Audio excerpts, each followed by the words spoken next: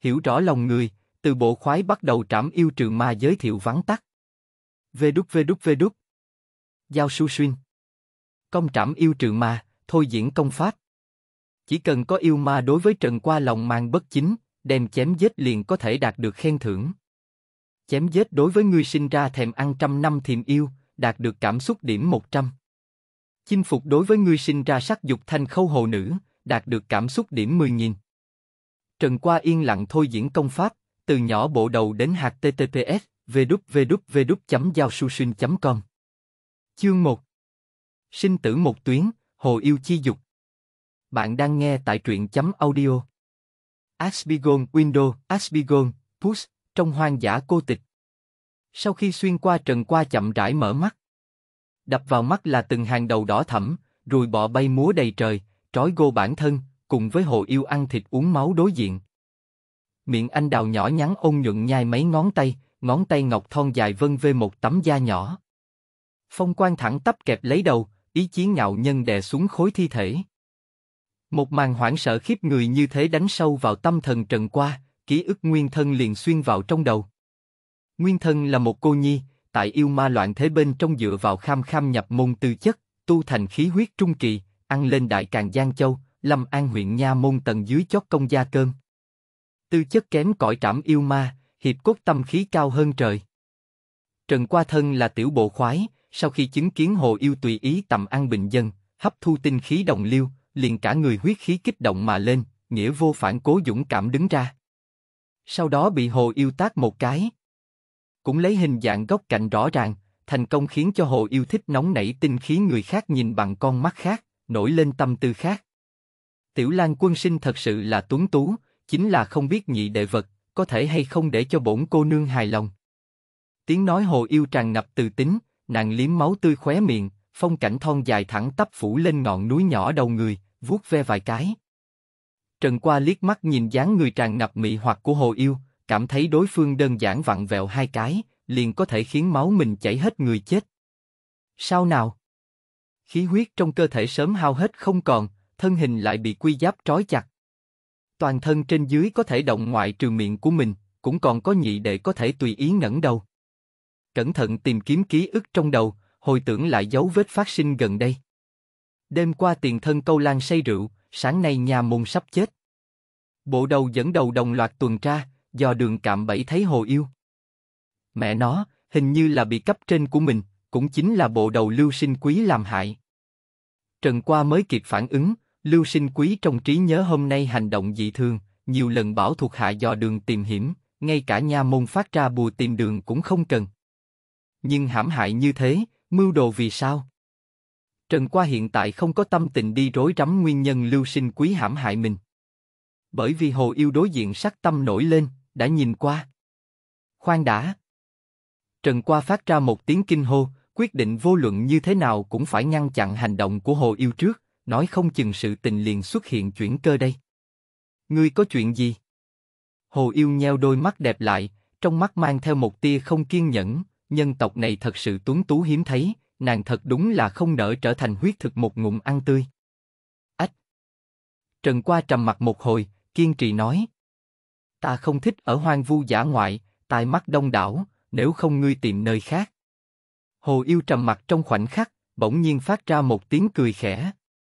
Cũng không nói gì nữa, dáng người chặt chẽ mị hoặc của nàng đứng lên, đuôi cáo sau lưng cuồn cuộn nổi lên thân thể trần qua, lăng không phi hành mà đi. Địa giới Lộc Sơn gần huyện Lâm An. Trong núi rừng, Hồ Yêu tìm một cái sơn động. Đem quy giáp trói trần qua ngã trên mặt đất, Hồ Yêu vận chuyển yêu khí dọn sạch sơn động, lại ở trên mặt đất buông xuống một tấm lụa mỏng mềm mại. Cởi trói rùa trên người trần qua, quần áo nàng dần dần cởi ra, lộ ra phong cảnh dính máu người cực hạn. Hồ Yêu cúi đầu liếc mắt một cái, trong mắt có vẻ hài lòng, cấp bách liếm liếm khóe miệng, muốn động thủ. Khoan đã. Trần Qua phát ra tiếng nổ bén nhọn. Lại có chuyện gì? Hồ Yêu tức giận, nhưng nhìn thấy trước mặt này Trương Tiểu Bạch mặt, trong lòng tức giận liền không khỏi tiêu tan nửa phần. Vô đạo đức a, Trần Qua khóc lóc kể lễ, hay là không đợi buổi tối? Hồ Yêu trầm mặt, lão nương một đầu ăn thịt người uống máu Hồ Yêu, ngươi nói với ta nhân luân đạo đức. Trần Qua. Khí huyết tôi phù phiếm, cậu giúp tôi hồi phục một chút. Tin tức tốt là, một đạo yêu khí màu hồng nhạt trót vào thân thể, trần qua trong nháy mắt tinh lực dư thừa, thậm chí cảm giác có thể một quyền đánh nát núi đá. Tin xấu là, nhị đệ cũng cường tráng, ý muốn đánh xuyên cửu u địa phủ, đánh cho hoàng tuyền rơi xuống nước. Được rồi chứ. Trần qua. Tôi. Trong một ngày đếm không hết mấy ngày sau. Sáng sớm ngày hôm sau. Trần qua giống như khô khan, sắc mặt tái nhợt như tờ giấy, khí tức uể oải tới cực điểm. Hồ yêu đối diện nhấc quần áo lên, đôi mắt đẹp mở nửa chừng liếc về phía Trần qua. Ngươi muốn chết như thế nào? Tôi không muốn chết. Trần qua sắc mặt như đất. Hồ yêu lắc đầu, há có yêu ma mang theo nhân tộc tiểu bạch kiểm khắp nơi trà trộn đạo lý, đã lấy được chính mình cần thiết, vậy nhân tộc này cũng không cần thiết giữ lại. Để lại toàn bộ thi thể, lại tùy tiện tìm khe núi chôn, coi như là hội báo nhân tộc này đêm qua tự thể nghiệm. Nghĩ đến đây, liền vô tình vận chuyển yêu khí, muốn một cái tác đập chết Trần Qua. Nhưng mà vào giờ khắc này, cảnh tượng trước mắt Trần Qua trở nên chậm chạp, thời gian giống như lâm vào ngưng trệ. Nương theo phụ đề hiện lên trước mắt, tâm tình Trần Qua cũng kích động lên. Ký chủ bị cường kiện cũng không ra tay, thế nào cũng phải sắp chết mới hiện thân. Bộ đầu lưu sinh quý đối với ngươi sinh ra sát tâm, một trăm, một trăm. Vận khí sơ kỳ hồ yêu đối với ngươi sinh ra sát dục, thèm ăn, chín mươi, một trăm. Công pháp Thanh vân đao pháp, tiểu thành, túng vân bộ, đại thành, ban đầu cảm xúc điểm 100, có thể đem cảm xúc điểm dùng để tăng lên công pháp tuyệt học, cảm xúc điểm đạt được phương pháp. Chỉ cần có người yêu đối với ngươi lòng mang bất chính, đem chém giết, thay đổi cái nhìn sau đó liền có thể đạt được cảm xúc điểm. Tìm thư uyển vđvđv chấm giao su chấm com đè nén kích động trong lòng, Trần Qua nhanh chóng đưa ra phán đoán. Tăng đao pháp liều chết đánh cược một lần, hay là tăng bộ pháp hốt hoảng chạy trối chết. Túng Vân Bộ vốn là cảnh giới đại thành, tốc độ tăng thực lực có hạn, chỉ sợ ba cái chân dùng tới đều ngoài tầm tay với, khó thoát khỏi lòng bàn tay hồ yêu. Cho nên chỉ có thể tăng lên thanh vân đao pháp, sau khi thêm điểm viên mãn, chưa chắc không thể có một đường sinh cơ. Người khai sáng thanh vân đao pháp Khương Thanh Vân, hiện giờ trảm yêu giáo úy huyện Lâm An, đã từng có hành động vĩ đại lấy khí huyết trung kỳ chém giết vận khí yêu ma. Trong mắt Trần Qua hiện ra sát khí nhẹ nhẹ. Nguyên bản hắn còn lưu lại vài phần tình cảm, dù sao vô luận như thế nào nói đêm qua kiều diễm là sự thật. Nhưng cái này hồ yêu nhất vấy lên không nhận người hành vi. Thật sự làm cho người ta đinh hàng. Con hồ yêu vận khí cảnh này muốn giết, lưu sinh quý hại mình thân hãm hiểm cảnh cũng phải chết. Tăng lên thanh vân đao pháp. Tiêu hao cảm xúc điểm 98, còn lại cảm xúc điểm 2 năm thứ nhất, người tư chất kém cỏi mở ra thanh vân đao pháp thượng quyển, như đọc thiên thư. Năm thứ hai. Năm thứ 98, thanh vân đao pháp viên mãn. Chỉ trong nháy mắt, trong đầu Trần Qua đã có vô số cảm ngộ. Nhặt trường đao trong quần áo bên cạnh lên, thân đao thanh mang bắt đầu khởi động, đao kỹ tuyệt diệu hạ bút thành văn. Thời gian trở lại dòng chảy. Đối mặt với bàn tay đánh thẳng vào mặt, Trần Qua giơ tay vung ra một đao giản dị tự nhiên. Thấy tình hình này, trong con ngươi hồ yêu trào ra một chút khinh thường. Cử chỉ châu chấu đá xe, cũng không phải chưa từng thấy qua. Lúc trước tàn sát những phàm nhân kia, cũng có hạng người thiết cốt bông bông, lấy thân thể phàm thai cứng rắn lay động thân thể yêu ma của mình. Tốn công vô ích mà thôi. Chương 2 Chém giết hồ yêu, cường thế quay về. Bạn đang nghe tại truyện chấm audio. Asbigon Windows, Asbigon, Push, giữa điện quang hỏa thạch, lưỡi dao va chạm với ngọc thủ tinh tế. Cảnh tượng hồ yêu bẻ gãy nghiền nát đánh bại Trần Qua trong tưởng tượng cũng không xuất hiện. Ngược lại thanh này bị nó coi là phàm phẩm thấp kém vũ khí, suy nhược không chịu nổi thân thể phàm thai, chặt đứt chính mình đột phá vận khí cảnh sau đó, liền chưa từng thất bại yêu thân. Đâm. Trường đao chặt đứt cánh tay hồ yêu, máu yêu ma đỏ tươi như vỡ đê phun ra. Ngươi. Hồ yêu phát ra thống khổ thét dài, nàng thật sự không rõ, một giới bị ép khô khí huyết võ phu, giờ phút này làm sao có thể thương tổn đến chính mình cường đại yêu thân. Yêu huyết nóng bỏng không thôi xối ở trên người, lòng tin trần qua thiêu đốt, trong mắt lạnh lùng lại càng sâu ba phần. Vẫn chưa cho hồ yêu cơ hội thở dốc, trần qua rút đao lao ra, thanh vân đao pháp viên mãn chém ngang trời. Ngươi! Hồ Yêu sợ hãi không thôi, cảm nhận được đao ý nghiêm nghị trong đó. Đao pháp có thể so với đại tông sư, tuyệt không phải mình có thể ngăn cản. Đường đường là một đại tông sư đao pháp, thủ đoạn lại ti tiện đến mức giả bộ tiểu bối giả heo ăn thịt hổ. Hồ yêu giận tím mặt, nhận định đây là đại tông sư đang giả heo ăn hồ, trong lòng đột phá vận khí cảnh xây dựng lên cường đại tự tin âm âm sụp đổ. Nàng dừng lại vết thương trên cánh tay bị gãy, đuôi cáo phía sau cuộn lại, muốn chạy trốn. Trần qua cả người đẫm máu, vẻ mặt lạnh như băng, một bước bước ra khỏi sơn động, đuổi theo hồ yêu chém trong rừng lộc sơn. Đáng chết! Hồ yêu vết thương chồng chất liều mạng chạy trốn, lại phát hiện thanh niên phía sau tắm rửa yêu huyết, khóe miệng còn có một tia độ công, như điên cuồng. Đến tột cùng ai là yêu ma? Chết! Trần qua gầm lên, một thân khí huyết thiêu đốt hầu như không còn, trường đao trong tay như mũi tên rời cung bay ra, cắt đứt trời cao mà đi. Phốc suy. Trường đao vững vàng rơi vào trên đầu hồ yêu, thân thể cực đại yêu ầm ầm ngã xuống đất, tứ chi tráng kiện giãy dụa vài cái, dần dần không còn hơi thở. Chết rồi. Chém giết đối với ngươi sinh ra sát dục, sát dục vận khí cảnh hồ yêu, đạt được cảm xúc điểm 150, còn lại cảm xúc điểm 152. Thấy tình hình này, Trần Qua như trút được gánh nặng. Đừng nhìn hắn ngã về một phía truy sát hồ yêu, kỳ thực mỗi một kích đều sẽ thiêu đốt kết xù khí huyết. Đây là lấy mạng đánh cược. Giờ phút này khí huyết đã sớm thiếu hụt, tay chân vô lực, thân thể không ngừng run rẩy. Nghỉ ngơi một lát, Trần Qua tiến lên rút trường đao, cổng thi thể hồ yêu lên lưng. Mục đích đạt thành một nửa, hiện giờ chỉ còn lại có lưu sinh quý giết ngàn đao kia. Nhưng ngay sau đó, thanh khâu hồ nữ đối với ngươi hiếu kỳ, 10, 100. Gần huyện Lâm An, trong một tòa miếu hoang vu. Lưu sinh quý quỳ rạp trên mặt đất, mặc dù cung kính dập đầu với một pho tượng thần trong miếu. Tượng thần toàn thân hiện lên màu vàng sẫm, bề ngoài mặt mũi hiện lành, trong tay còn nâng một con thọ quy, sau lưng có khăn tiên hiện lên, là hình tượng một bà lão mỉm cười. Thủy Tiên ở trên, không biết trong nhà nội còn có ai xung đột với nữ nhi của ta, kính xin Thủy Tiên chỉ thị. Lưu sinh quý tất cung tất kính. Tượng thần cũng không phản ứng, bà lão mỉm cười như trước. Được.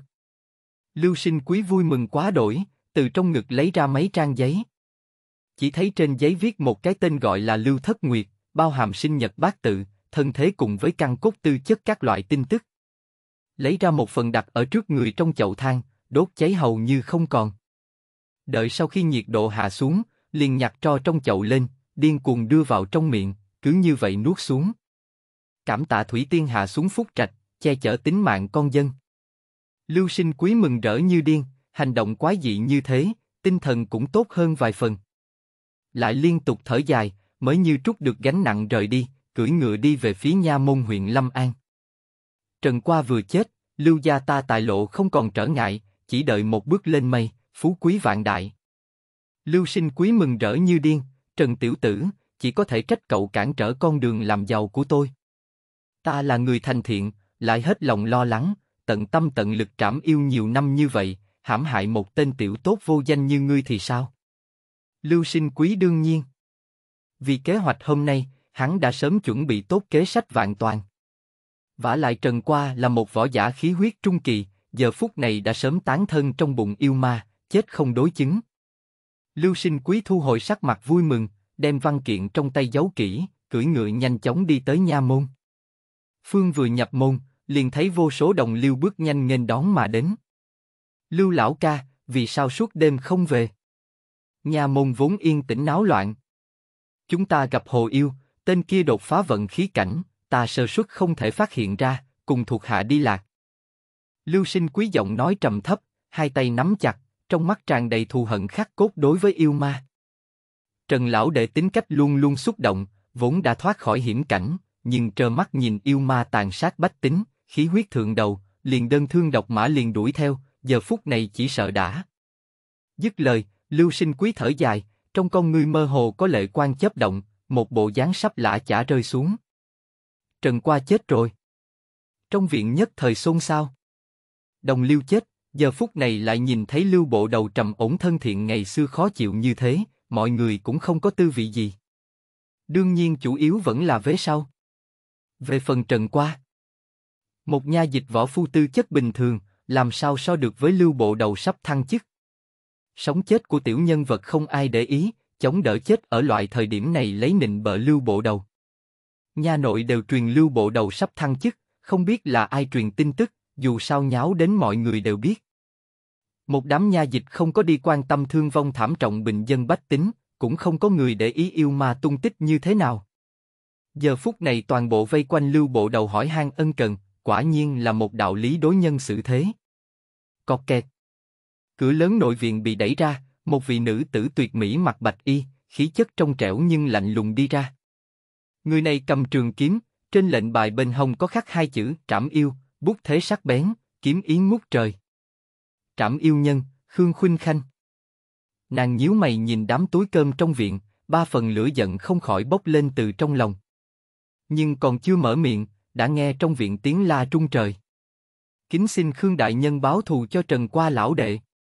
Kính xin Khương Đại Nhân vì Trần Qua cùng Lê Dân Bách tính trảm yêu. Kính xin Khương Đại Nhân vì Trần Qua cùng Lê Dân Bách tính trảm yêu. Các nhà dịch trong viện không hẹn mà cùng không người thở dài, đồng loạt mở miệng, ngữ khí bi tráng. Khương Khuynh Khanh nhíu mày, tìm Thư Uyển nhìn chầm chầm Lưu Sinh Quý đang muốn lạ chả rơi lệ, sát khí trên trán bốc lên. Ai nói Trần Qua đã chết? Các ngươi nhìn xem, người đứng ngoài viện là ai? Ngay cả ánh nắng giữa trưa tháng 8 nóng bức cũng không thể ngăn được cái lạnh trong lời nói này. Hả? Mọi người trong viện nhao nhao sửng sốt. Nhìn lại đi. Chỉ thấy ngoài đại viện, có một bóng dáng thanh niên cả người đẫm máu. Máu tươi yêu ma nhuộm khắp toàn thân người này, trường đao trong tay đỏ sẫm một mảnh, đôi mắt dưới sợi tóc hỗn độn sát khí ngưng kết, gắt gao nhìn chầm chầm lưu sinh quý trong viện. Muốn nói càng làm người ta chấn động, thì là thi thể hồ yêu mà thanh niên cổng trên lưng. Mắt trợn tròn, tử trạng thê thảm, đau thương trên đầu yêu thất linh bát lạc. Trong viện các bộ khoái ngâm dâm đau đạo mấy năm, liếc mắt một cái là có thể nhìn ra miệng vết thương trên đầu hồ yêu, đúng đều là trường đao trong tay thanh niên gây nên. Trần Qua chưa chết. Hơn nữa một mình chém giết vận khí cảnh sơ kỳ trăm năm hồ yêu. Hai tin tức này giống như sấm sét kinh thiên, nổ vang trong lòng mọi người. người Lưu sinh quý run rẩy miệng lưỡi, khóe mắt còn chứa mấy giọt nước mắt to bằng hạt đậu. Bôi cũng không phải, không bôi cũng không phải. Ha ha, được, Trần Lão Đệ không có việc gì là tốt rồi. Trần Lão Đệ lấy khí huyết trung kỳ chém giết vận khí cảnh yêu ma, tái hiện ta huyện Lâm An trảm yêu bộ khoái uy. Khương giáo úy năm đó cũng có cử chỉ kinh tài diễm lệ như vậy, Trần Lão Đệ có hy vọng trở thành trảm yêu nhân. Mọi người vừa rồi còn vây quanh Lưu Sinh Quý hỏi han ân cần nhất thời chuyển phong cách, liên tục chúc mừng. Nhưng cũng có người chú ý tới Lưu Sinh Quý như bị sét đánh. Lưu Bộ Đầu, Trần Lão Đệ thăng chức, đây là việc vui. Cười a, sao ngươi không cười? Chương 3 Thanh khâu hồ nữ, mới gặp Lưu Bảy Nguyệt. Bạn đang nghe tại truyện chấm audio. Asbigon Windows, Asbigon, Push, chương 3 Thanh khâu hồ nữ, lần đầu gặp Lưu Thất Nguyệt Thủy Tiên cứu ta. Sắc mặt Lưu Sinh Quý cứng nhắc, quỳ rạp xuống đất, ngay cả nhìn cũng không dám liếc mắt nhìn Trần qua. Ánh mắt hắn lặng lẽ nhìn về phía Thủy Tiên miếu ngoài thành, đáy mắt mơ hồ có vài phần chờ mong. Dù là kẻ ngốc cũng nhận ra bầu không khí lúc này có chút không thích hợp, trong viện rất nhanh liền an tĩnh lại. Trần Qua ném thi thể hồ yêu trên lưng xuống đất, xách đao một mình đi lên phía trước, nhìn xuống lưu bộ đầu quỳ rạp xuống đất. Cũng không nhiều lời, đao mang màu xanh chấp động, đầu người cuồn cuộn rơi xuống đất. Chém giết đối với ngươi sinh ra sát dục lưu sinh quý, đạt được cảm xúc điểm 100, còn lại cảm xúc điểm 252. Trần Qua hài lòng thu hồi trường đao. Thấy tình hình này, đám bộ khoái trong viện tâm thần chấn động. Mọi người nhìn về phía Khương Khuynh Khanh, thấy đối phương lại thờ ơ, trong lòng nhao nhao rùng mình, cầm như hến. Đều đi trấn an dân chúng cho ta. Khương Khuynh Khanh răng dậy một tiếng, xua tan nha dịch trong viện. Chợt thu hồi sát khí, một lần nữa phóng thích khí chất trong trẻo lạnh lùng cự tuyệt người ngoài ngàn dặm, liếc mắt nhìn toàn thân Trần qua. Khương Khuynh Khanh sắc dục từ một, một, một trăm, tâm như chỉ thủy. Trần qua suýt nữa không kịp phản ứng. Ngươi là hồ yêu dùng thanh vân đao pháp giết. Khương Khuynh Khanh cắt đứt suy nghĩ của hắn. Trần qua chắp tay. Hồi bẩm Khương Đại Nhân, chính là thanh vân đao pháp. Ồ, Khương Khuynh Khanh sắc dục bị một, hai, một trăm, tâm như chỉ thủy, trần qua. Trảm yêu giáo úy Khương Thanh Vân khai sáng Thanh Vân Đao Pháp, chính là phụ thân của Khương Khuynh Khanh. Tuổi trẻ như vậy đã có thể đem Thanh Vân Đao Pháp luyện tới viên mãn, mặc dù tư chất kém một chút, nhưng coi như là cái có thể tạo chi tài. Khương Khuynh Khanh gật đầu, thanh âm lại trước sau như một lạnh lùng. Theo tôi vào nhà. Trong nhà. Khương Khuynh Khanh phục án ngồi xuống, dáng người dưới quần áo trắng như tuyết nhấp nhô, lung linh chặt chẽ. Một luồng ánh mặt trời vừa vặn chiếu vào trên cành cây to lớn, váy trắng rạng rỡ sinh huy, bắt mắt lại nổi bật. Khuôn mặt thanh lãnh tuyệt mỹ trầm mặc trong khoảnh khắc, Khương Khuynh Khanh dơ một quyển sách lên, làm như cố ý che lại phong cảnh trước ngực, thản nhiên nói. Đem sự tình trước sau nói tỉ mỉ. Trần qua vuốt suy nghĩ của tiền thân, lại lược bỏ sự tồn tại của ngón tay vàng, nói ra toàn bộ. Đối mặt với trảm yêu nhân huyện Lâm An, hiện giờ mình không dám chậm trễ. Vương Triều Đại càng thiết lập trạm yêu ti, cho mỗi huyện nha môn đều phân phối trạm yêu giáo úy, cùng với một số vị trạm yêu nhân. Khương Khuynh Khanh chính là một trong chín vị trạm yêu nhân của huyện Lâm An. Nàng này từ 12 tuổi lên liền bắt đầu luyện võ trảm yêu, bây giờ 7 năm trôi qua, sớm đã đến vận khí cảnh đỉnh phong, giết yêu ma không nói hơn vạn cũng có hàng ngàn. Nói không khoa trương chút nào, hoàn toàn là tồn tại cầm mũi đao liếm máu yêu ma lớn lên. Vả lại Khương Khuynh Khanh xuất thân từ Giang Châu tổng thành thế gia, thiên tư địa vị cao sùng, chỉ là tiến đến An huyện lịch lãm, một khi đột phá uẩn linh cảnh trên vận khí, sẽ trở thành trảm yêu giáo úy vạn người kính ngưỡng. Động cơ của Lưu Sinh Quý tạm thời không đề cập tới, ngươi là hồ yêu dết trong địa giới Lộc Sơn. Khương Khuynh Khanh nhíu mày. Lộc Sơn cất giấu một con thanh khâu hồ nửa bước hóa đan cảnh, chém yêu trước mắt, tất tránh không khỏi tai mắt của nàng. Nửa bước hóa đang cảnh. Lúc trước đột nhiên bắn ra nhắc nhở quả nhiên không sai, may mà trong lòng hắn còn có may mắn. Trần qua sắc mặt trầm xuống, khí huyết, vận khí, quẩn linh, hóa đan, đây là tu hành giai đoạn trước tứ đại cảnh giới. Thường thường vận khí cảnh yêu ma liền có thể xưng bá một phương, về phần quẩn linh cảnh sau đó lại càng khủng bố. Hóa đan cảnh là yêu vương khiến người ta nghe thấy biến sắc, chỉ có trảm yêu đại tướng mới có thể chống lại yêu ma như thế. Chống lại không phải chém giết. Một bộ khoái nho nhỏ của mình lại rước lấy sự chú ý của yêu ma cường đại như vậy. Trần Qua lúc này cảm thấy trên đỉnh đầu treo một thanh lợi kiếm vô hình. Trong lòng đối với công pháp khác cầu trình độ nhanh chóng tăng vọt. Trở nên mạnh mẽ, nhất định phải nhanh chóng trở nên mạnh mẽ. Bất quá ngươi không cần lo lắng, phụ thân ta cùng nàng kinh sợ lẫn nhau, bình thường chỉ cần không bước vào lộc sơn địa giới sẽ không có việc gì. Bình thường. Trần Qua âm thầm cân nhắc ý nhị của hai chữ này, vẫn có chút bất an. Ngày mai ngươi tiếp nhận vị trí của lưu bộ đầu, phụ trách ba thị trấn phía nam huyện Lâm An. Khương Khuynh Khanh nói. Trần Qua vui vẻ tiếp nhận, bộ đầu bình thường ít nhất đều là tu vi khí huyết hậu kỳ thậm chí viên mãn. Chính mình chém giết vận khí cảnh yêu ma, trở thành bộ đầu vốn nằm trong dự liệu. Động cơ lưu sinh quý hãm hại anh có chút quỷ dị, nhớ điều tra một chút, con gái lưu thất nguyệt sẽ trở thành bộ khoái, phân vào thủ hạ của anh, có thể bắt đầu từ cô ta. Trần Qua ngẩn ra, điều này hắn bất ngờ. Bất quá lúc trước có nghe nói, lưu sinh quý đối với nữ nhi ký thác kỳ vọng cao, từ nhỏ đã bắt đầu thúc giục luyện võ, thường xuyên nói đến. Phần thưởng trảm yêu được chia vào sổ sách của ngươi, không có việc gì thì lui ra đi. Vâng. Sau khi Trần Qua rời đi, trong phòng chợt xuất hiện một thân ảnh mảnh khảnh, một nha đầu nửa lớn không nhỏ lầm bầm nói. Tiểu thư, chẳng lẽ ngươi muốn đem tràn hạt cho hắn? Còn không bằng cho phép sợ. Khương Khuynh Khanh lắc đầu, không đến mức, tuy nói người này có vài phần thực lực, nhưng thiềm yêu suy nhược, thanh vân đao pháp vốn có năng lực vượt biên. Tư chất kém cỏi sẽ hạn chế tiến triển tu vi của hắn, thanh vân đao pháp sợ cũng tu luyện mấy năm mới viên mãn, như thế chịu đựng đến ba bốn mươi tuổi mới có hy vọng trở thành trảm yêu nhân. Trước tiên đem hứa khả úy đưa vào ứng cử viên niệm châu. Sắc trời gần tối, sau khi trảm yêu ti rời đi, Trần Qua liền theo con đường trong trí nhớ đi về nhà. Cũng không có tâm tư giao tiếp với những đồng nghiệp kia. Nhà nội căn cứ chính vị trảm yêu nhân chia làm chính trường phái, ngày thường không phải tầm hoa vấn liễu thì là sống mơ màng màng, bầu không khí xa hoa lãng phí. Lưu Thất Nguyệt sinh ra chán ghét với cậu, 70, 100. Trước mắt hiện ra một hàng phụ đề. Trần qua nhướng mày, mới chú ý tới một thiếu nữ áo xanh tuổi chừng 17 đi theo phía sau. Người này ngũ quan thanh tú, vẻ mặt đờ đẫn, khóe mắt còn có nước mắt, có thể nhìn ra không lâu trước đây gào khóc qua. Chính là con gái của Lưu Sinh Quý. Lưu Thất Nguyệt nắm chặt nắm đấm, tấm lòng hơi gợn sóng kịch liệt phập phồng, giống như một ngọn núi lửa sắp bộc phát.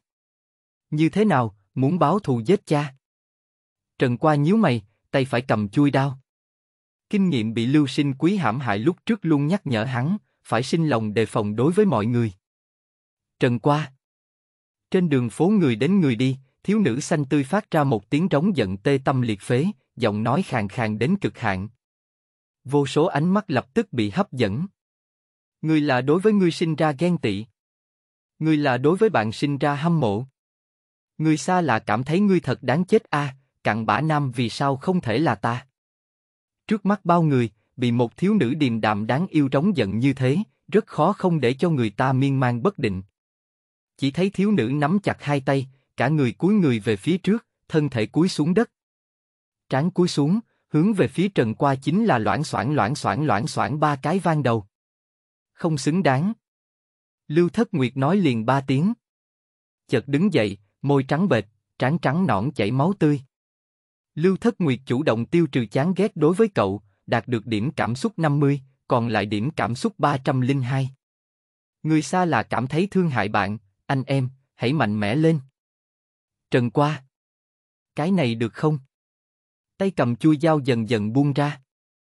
Trần qua cẩn thận quan sát một phen, phát hiện dưới vạt áo cổ cao của Lưu Thất Nguyệt, lại cất giấu từng đạo vết máu nhìn thấy mà giật mình, tìm Thư Uyển không khỏi nhíu mày.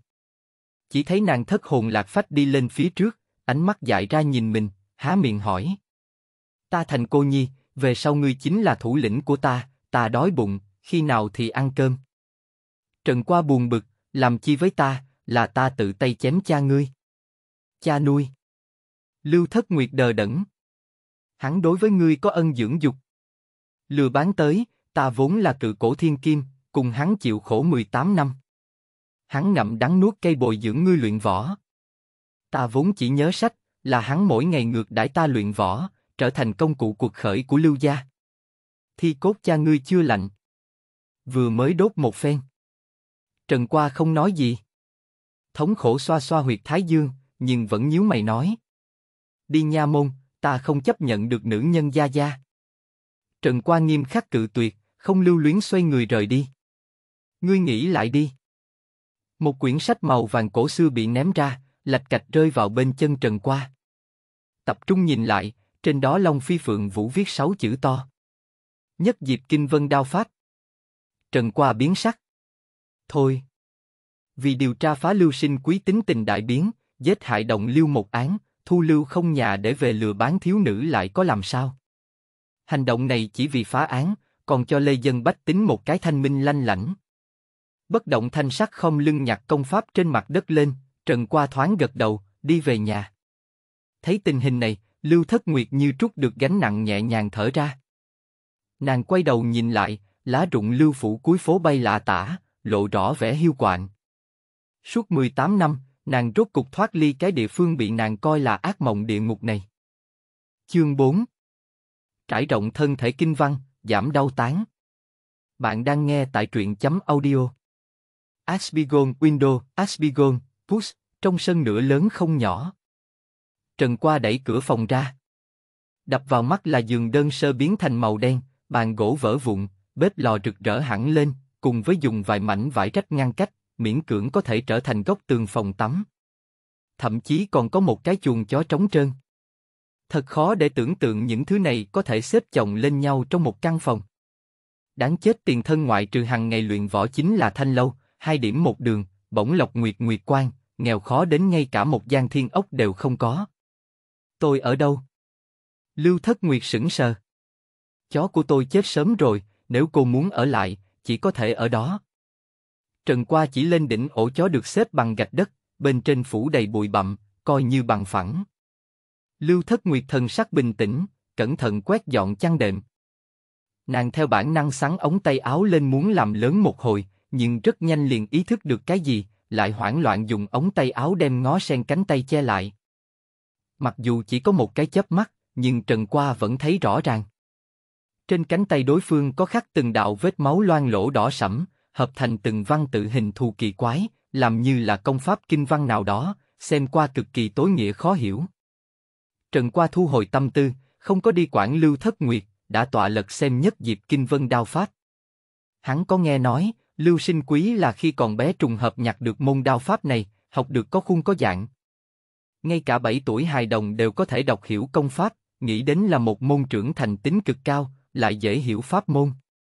Trần Qua cẩn thận lật xem, từ đầu đến cuối, lật qua lật lại xem. T. Vì sao mỗi một chữ trên sách đều biết, tổ cùng một chỗ liền thành thiên thư? Chẳng lẽ nữ nhân này đang lừa gạt ta?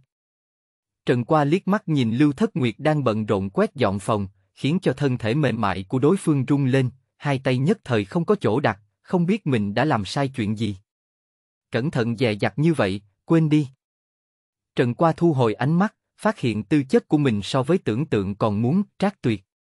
Còn lại cảm xúc điểm 302, có phải hay không bắt đầu thôi diễn luyện tập nhất dịp kinh vân đao pháp? Tiêu hao điểm cảm xúc 200, còn lại điểm cảm xúc 102.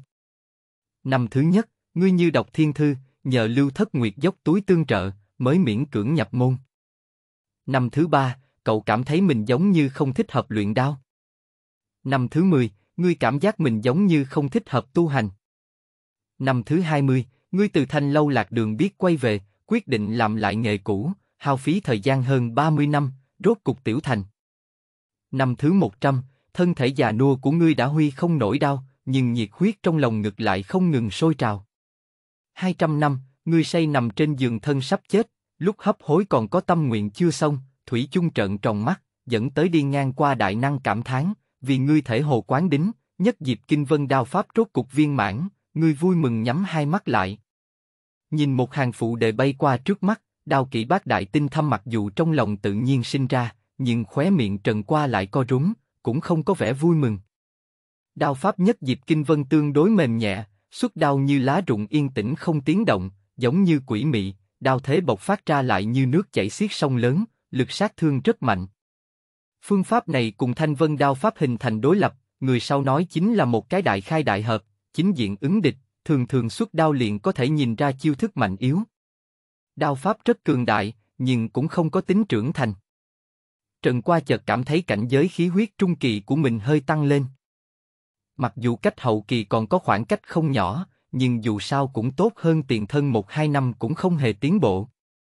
Vận khí cảnh khó có thể nắm bắt, thường thường khí huyết tam cảnh liền có thể khốn chết đại bộ phận bộ khoái bộ đầu, tiền thân trầm mê tử sắc hiển nhiên là một trong số đó. Mở mắt ra, phát hiện Lưu Thất Nguyệt đã dọn dẹp sạch sẽ căn phòng vốn lộn xộn, đun nước nóng, giờ phút này đang tắm rửa ở góc tường. Tiếng nước nhẹ nhẹ tích tắc tích tắc. Dưới tấm vải rách đơn sơ, chỉ lộ ra hai bàn chân ngọc trắng nõn khéo léo, cốt tướng rõ ràng. Theo bắp chân mảnh khảnh nhìn lên trên, lại là từng chữ viết do vết máu tạo thành, giống như không thể khép lại, thủy chung lóe ra huyết mang đỏ sẫm, thần bí đến cực điểm. Hẳn là một môn công pháp. Trần Qua nheo mắt lại, nhìn chung Phật môn kinh pháp đạo gia sách cổ, lại lấy trong đầu đao pháp đại tông sư tài nghệ lĩnh ngộ, phát hiện những văn tự này. Đó là lời nói. Sẽ không có một người xem hiểu được. Lại theo chân ngọc nhìn lên, đã bị vải rách ngăn trở, nhìn không thấy. Trần Qua rất muốn nhìn thấu, nhìn sảng khoái. Đương nhiên là chỉ môn công pháp này khắc trên thân thể Lưu Thất Nguyệt, tối nghĩa khó hiểu. Bất quá nhìn phỏng chừng cũng không làm nên chuyện gì, ngay cả văn tự cũng không thể đọc hiểu, cũng không thể sử dụng hệ thống thôi diễn tăng lên, chỉ có thể từ bỏ như thế. Ngày sau nhắc lại, người tu hành cảm quan linh mẫn, Lưu Thất Nguyệt cẩn thận từng ly từng tí tắm rửa tự nhiên nhận ra có người đang quan sát mình. Hai má cô hơi đỏ, cúi đầu mới phát hiện vải trách che tầm mắt mới che đến giữa bắp chân mình. Hơi thở dài, trong mắt Lưu Thất Nguyệt hiện ra vài phần oán hận cùng bất đắc dĩ. Ngươi phát hiện rồi. Lưu Thất Nguyệt từ trong mấy miếng vải rách đi ra. Cô buộc bím tóc đuôi ngựa, mặc một bộ quần áo bó sát người màu đen trắng, dáng người chặt chẽ nhỏ nhắn xinh xắn, che lấp toàn bộ làn da. Trần Qua từ chối cho ý kiến. Lưu Thất Nguyệt giải thích, từ 7 tuổi trở đi, hàng năm 18 tháng 7 hắn đều dẫn ta ra ngoài thành một cái miếu thờ, chỉ cần ở nơi đó ngủ một đêm, trên người sẽ nhiều ra một ít huyết tự. Cho đến bây giờ, những chữ huyết này đã trải rộng khắp toàn thân ta, mỗi một tấc da thịt. Đền thờ Trần Qua nhíu mày, tiền thân là người huyện Lâm An sinh ra và lớn lên ở đây, chưa từng nghe nói ngoài thành còn có miếu thờ gì. Từ lúc yêu ma loạn thế lên, triều đình đại càng liền phát hiện quỷ thần mê tín, phần lớn là yêu ma hút hương khói nguyện lực quấy phá, cho nên đẩy ngã vô số miếu thờ. Có biết vị trí miếu thờ không? Trần Qua truy vấn. Không biết, lần nào tôi cũng bị đánh ngất mang qua. Lưu Thất Nguyệt lắc đầu. Vậy những chữ viết trên người, có thể xem hiểu không? Trần Qua nói. Lưu Thất Nguyệt giải thích. Xem không hiểu, cũng không cách nào thác ấn ra, nghe cha nuôi ta nói, đây là kỳ môn dị thuật, cần có người tận mắt xem hiểu mà luyện tới viên mãn, mới có thể tiêu trừ chữ huyết trên người ta. Tận mắt nhìn hiểu. Trần Qua trong lòng có điều suy nghĩ. Thì ra ngươi xem không hiểu. Lưu Thất Nguyệt có chút uể oải, mục đích nàng lựa chọn đi theo Trần Qua, chính là nhìn xem đao pháp đại tông sư có thể vượt cấp chém giết vận khí yêu ma này, có thể đọc hiểu công pháp trên người mình hay không. Nhưng thấy ánh mắt và cử chỉ của Trần Qua, rõ ràng không nhìn ra nửa điểm manh mối. Huống hồ ngay cả khi lật xem đao pháp nhất diệp kinh vân, Trần Qua cũng nhíu mày suy nghĩ sâu xa, phương pháp này khó khăn có thể nói là đơn giản, hai đồng bảy tám tuổi cũng có thể đọc hiểu nhập môn. Lưu sinh quý dùng thời gian hai năm tiểu thành, nàng chỉ dùng một năm. Vị cấp trên này của mình cần bao nhiêu năm, ba năm, hoặc là càng nhiều. Kỳ vọng của Lưu Thất Nguyệt rơi vào không trung, nguyên lai hắn cũng không có thiên tư thông minh như trong tưởng tượng, thậm chí có thể nói tư chất ở phương diện công pháp có thể nói là ngu ngốc. Như thế cũng tốt, không cần để cho một đại nam tử nhìn thân thể mình. Lưu Thất Nguyệt thầm nghĩ. Ngày mai dẫn em đến nhà anh xem một chút. Trần Qua trong lòng có tính toán, liếc nhìn sắc trời, đã gần chạng vạn tối. Nấu cơm đương nhiên là không thể nào, tiền thân nghèo đến mức ngay cả gạo mì dầu muối cũng không mua, bếp lò cho đến hôm nay đều rực rỡ hẳn lên. Tôi ra ngoài mua chút đồ ăn. Trần Qua đứng dậy, trước khi ra cửa quay đầu lại nhìn Lưu Thất Nguyệt, hỏi. Có đau không? Hả? Lưu Thất Nguyệt thụ sủng nhược kinh có chút bối rối, đau. Không không, không đau, không đau. Nhân sinh trên đời hơn 10 năm, cho dù là dưỡng phụ dưỡng mẫu cũng chưa bao giờ quan tâm qua mình, mũi liền khống chế không được nổi lên chua xót. Đau thì chịu đựng, thần kinh tôi suy nhược, không được nửa đêm xé răng nhếch miệng ầm ĩ đến khi tôi nghỉ ngơi. Trần Qua xoay người ra cửa. Thì ra là thế. Lưu Thất Nguyệt lắc đầu, chua xót trên mũi nhất thời biến mất. Cũng đúng, dưỡng phụ ban ngày còn đang hãm hại hắn, đây là sinh tử chi cừu, nếu như không phải nhất diệp kinh vân đao pháp, làm sao có thể đối với chính mình mặt tốt đối đãi? Một lát sau, Trần Qua mang theo hai lồng bánh bao trở về phòng. Tiền cơm chia đều, mỗi tháng ăn bao nhiêu thì trừ bổng lộc của ngươi. Đây là thuốc giảm đau, thuốc cũ lúc trước cho chó nhà ta dùng qua, tiện nghi cho ngươi. Trên bàn gỗ, rõ ràng là một chai thuốc giảm đau mới tinh chưa mở ra. Chương 5 Ngươi xác định lưu sinh quý không có cấu kết yêu ma, làm phiền mọi người điểm điểm truy đọc. Bạn đang nghe tại truyện chấm audio. Asbigon Windows, Asbigon, Push, sáng sớm ngày hôm sau. Trần Qua liền ra cửa, đi thẳng đến chỗ Lưu gia. Lưu Thất Nguyệt không tình không nguyện đi theo phía sau, có thể nhìn ra so với trở lại Lưu gia, nàng tình nguyện đi ngủ ổ chó. Trần công tử, hôm qua sao không tới?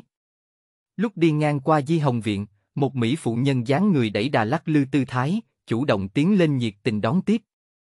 Mỹ phụ nhân không chút kiên kỵ, mắt hiện hoa đào, ban ngày ban mặt liền chu lên đôi môi phong phú diễm lệ, khóe miệng còn treo một nốt ruồi mỹ nhân, thẳng hướng trên mặt Trần Qua đưa.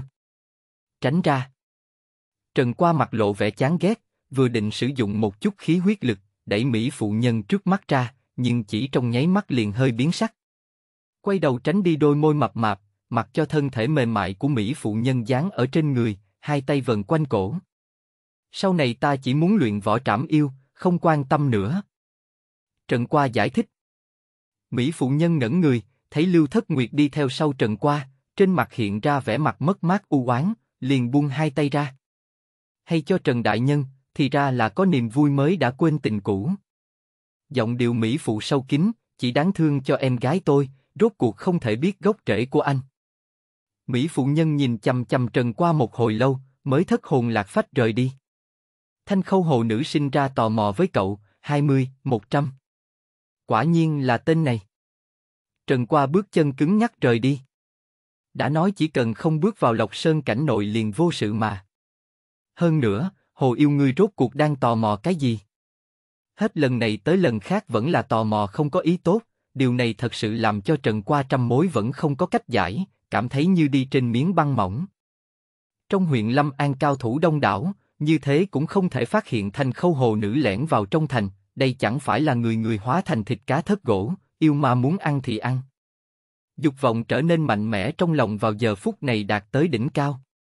Bất quá bàn tay vàng đối với bình dân bách tính không có hiệu quả, chỉ có người tu hành hoặc là yêu ma mới có thể thu hoạch tâm tình điểm. Đương nhiên chủ yếu vẫn là vế sau, sắc dục tạm thời không nói, trước mắt xem ra, sát dục cống hiến điểm cảm xúc nhiều nhất. Cứ như vậy tính toán như thế nào giết yêu, rất nhanh liền đi tới lưu gia. Đẩy cửa viện ra, cọc luyện công trong sân san sát như rừng, mấy gian phòng lại người đi nhà trống, dán giấy niêm phong của nha môn huyện Lâm An, hiển thị rõ sự hiu quạnh. Đêm qua trảm yêu nhân dẫn đội tra phong lưu gia, bất quá lưu sinh quý phu nhân tâm địa ác độc, ngay cả nha hoàng tôi tớ cũng độc chết, sau đó liền treo cổ tự tử.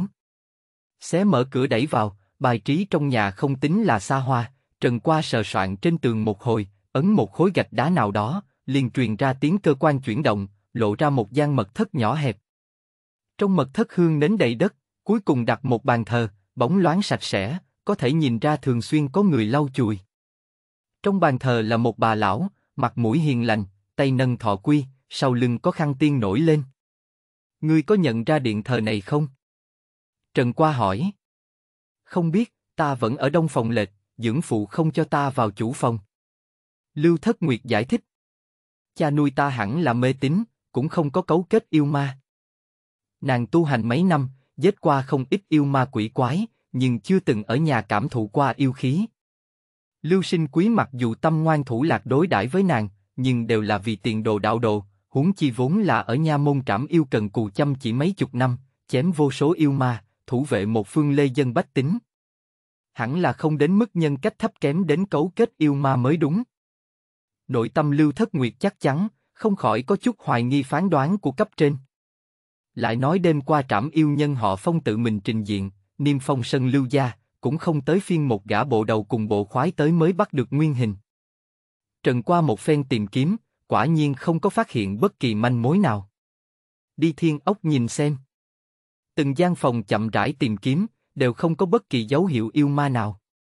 Trong lòng Lưu Thất Nguyệt dâng lên một chút may mắn. Vô luận như thế nào Lưu Sinh Quý đều nuôi mình hơn 10 năm, nếu đối phương thật sự là tội nhân tội ác tày trời, mặt mũi nàng cũng không còn ánh sáng. Đẩy căn phòng Lưu Thất Nguyệt đang ở ra. Nhìn cảnh tượng đập vào mắt, vẻ mặt Trần Qua khẽ động. Trong căn phòng nhỏ hẹp chật chội âm u ẩm ướt, trong không khí tràn ngập một cổ thối rữa, trên tường viết đầy phù văn ý nghĩa không rõ, dày đặc tê dại. Phòng bày biện đơn giản, một bàn, một giường, một cọc gỗ, còn có hai cổ quan tài treo trên xà nhà, ngụ ý thăng quan phát tài. Mùi hôi thối xông vào mũi trong không khí khiến người ta muốn nôn mửa, trong quan tài là vật gì rõ ràng. Trách không được ổ chó cũng không hề oán hận. Trần qua trầm mặt khoảnh khắc, ngươi ở trong phòng này bao lâu? 18 năm. Lưu Thất Nguyệt ra vẻ trấn định, âm cúi lại khẽ run. Trần qua gật đầu, tìm kiếm trong phòng, vẫn không phát hiện tung tích yêu ma nào. Trầm tư trong khoảnh khắc, vẫn là trở lại phòng chính mật thất. Nhìn chăm chăm bà lão mặt mũi hiền lành trong điện thờ, đưa tay bắt lấy. Nhưng mà, ngay tại khoảnh khắc ngón tay chạm vào tượng thần kia. Mặt yêu đối với ngươi sinh ra sát tâm, một trăm, một trăm. Quả nhiên là như thế. Trần qua trong lòng rùng mình, tay phải gân xanh nổ lên mạnh mẽ bắt lấy tượng thần, tay trái liền rút trường đao treo ở bên hông. Nghênh địch. Trần qua quát to, chỉ thấy tượng thần trong tay không ngừng phun ra hắc thủy, không có rơi trên mặt đất, mà là ngưng kết xung quanh tượng thần, trong nháy mắt liền hóa thành một đầu sinh vật khó có thể gọi tên. Tám xúc tu dài nhỏ ngăm đen, giống như mực, lại đáng sợ hơn nhiều, trong khay hút xúc tu mọc ra từng con mắt trắng bệch, đang ùn ụt nhìn chầm chầm chính mình không ngừng xoay chuyển, dịch thể sền sệt chảy ra. thật sự có yêu ma. Lưu Thất Nguyệt thất thần, trong lòng còn tồn tại một chút ấn tượng tốt đẹp cuối cùng đối với cha nuôi vào giờ phút này không tiếng động tan biến. Một con mực yêu khí huyết viên mãn thôi. Tìm thư uyển vê đúc vê đúc vê đúc. Giao su xuyên chấm con bàn tay trần qua thủy chung siết chặt mặt yêu, tùy ý nó vặn vẹo rít gào, bắn ra nọc độc màu đỏ tươi. Ta là thủy tiên tọa hạ đệ tử mặt đại nhân, mau buông ta ra, ngươi còn có đường sống. Mặt yêu đang sợ hãi, nguyên bản nó còn khinh thị cảnh giới của danh nhân tộc này, nhưng giờ phút này cảm thụ được cường độ truyền đến từ lòng bàn tay đối phương, so với yêu ma tên phó kỳ thực của nó còn cường hãn hơn. Phải biết rằng yêu ma đều lấy yêu thân cường hãn làm sở trường. Cùng cảnh giới, thân thể suy nhược của nhân tộc tuyệt đối không thể đánh đồng với thân thể yêu quái. Nhưng nhân tộc trước mắt chẳng những thân thể mạnh hơn nó, ngay cả cảnh giới cũng thấp hơn nó một bậc. Nếu Trần Qua biết được suy nghĩ trong lòng nó lúc này, không khỏi sẽ tức cực thành cười. Lấy mềm nhẹ làm đặc điểm nhất dịp kinh vân đao pháp, yêu cầu đối với thân thể có lực khống chế bộc phát cường đại vô cùng, chỉ điểm này liền tiêu ma hơn trăm năm tâm tình điểm. Nếu còn không sánh bằng một con yêu ma khí huyết viên mãn, vậy còn tu cái gì được? Thủy Tiên Trần Qua lần đầu tiên nghe thấy danh hiệu này, kể rõ chi tiết, ta có thể cho người chết đẹp một chút. Trong lòng bàn tay truyền ra lực đạo càng khổng lồ, con ngươi trên xúc tu mặt yêu lăng đầy đất, nhưng Thủy chung không có phun ra nửa chữ. Phanh. Bàn tay trần qua siết chặt, thân thể mặt yêu nổ tung, mực đen bắn tung trên mặt đất. Chém giết đối với ngươi sinh ra sát tâm khí huyết viên mãn mặt yêu, đạt được cảm xúc điểm 120, còn lại cảm xúc điểm 222 thủy tiên đối với ngươi sinh ra căm hận, 20, 100. Ồ, Trần Qua hiếp mắt, đẩy thi thể mặt yêu vụn vặt trong tay ra, lấy ra tượng thần bà lão cầm thọ quy. Trực tiếp bóp nổ. Thủy Tiên đối với ngươi sinh ra căm hận, 70, 100, không chết không ngừng. Chương 6 Hứa không sợ, nhíu mày thiên kiêu. Bạn đang nghe tại truyện chấm audio. Asbigon Window, Asbigon, Push, muốn mạng ta đều có hồ yêu có thể lẻn vào huyện Lâm An, cũng không kém ngươi. Trần Qua hơi có chút ý nhị heo chết không sợ nước sôi. Chỉ cần cho hắn thời gian trưởng thành, bất luận cái gì yêu ma đều phải hóa thành dưới đao vong hồn. Chợt quay đầu liếc mắt nhìn Lưu Thất Nguyệt một cái, đối phương vẫn đang bị Lưu Sinh Quý cấu kết yêu ma rung động, cả người giống như bị hít thở, bẹp dí nhìn thi thể mặt yêu đầy đất. Mệt mình lúc trước còn nghi ngờ phán đoán của Trần Qua. Lưu Thất Nguyệt phục hồi tinh thần lại, tự giác không còn mặt mũi nào đối mặt với ánh mắt này, tráng theo bản năng cúi thấp, như là đứa trẻ làm sai chuyện. Vừa rồi là ta làm ảo thuật, dưỡng phụ ngươi không có cấu kết yêu ma.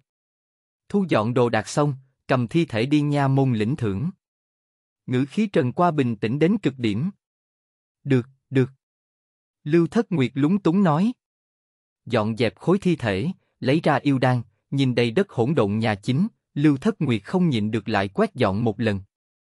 Nàng đem bàn thờ trống rỗng thả về chỗ cũ, chợt như là chú ý tới cái gì, từ phía sau bàn thờ lấy ra một quyển sách.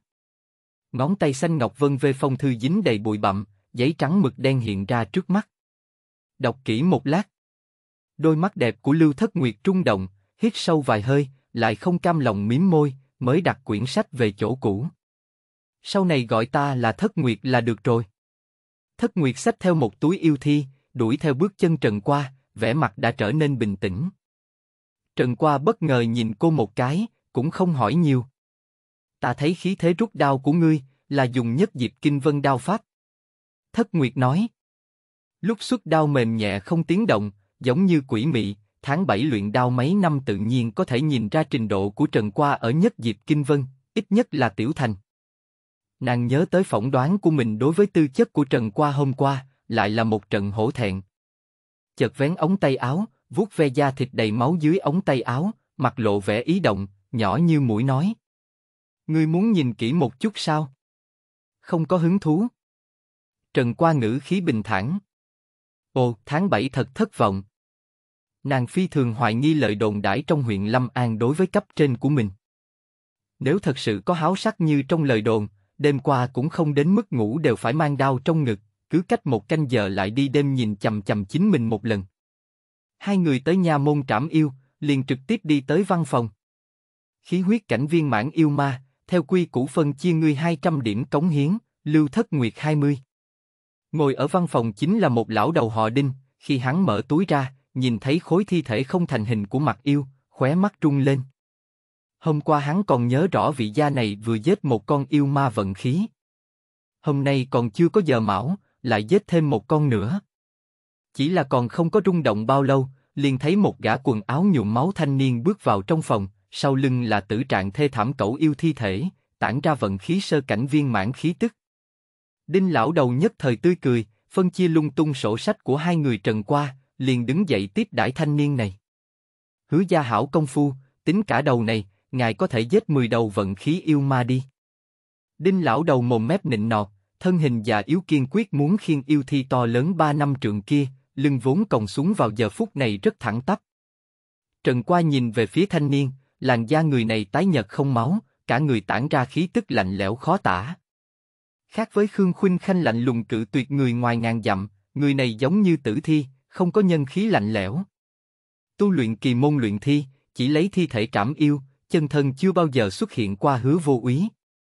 Trần Qua có ấn tượng sâu sắc với người này, hứa vô úy được xưng tụng là nhân vật ở huyện Lâm An, một tay luyện thi tài nghệ cường hãn lại hiếu kỳ.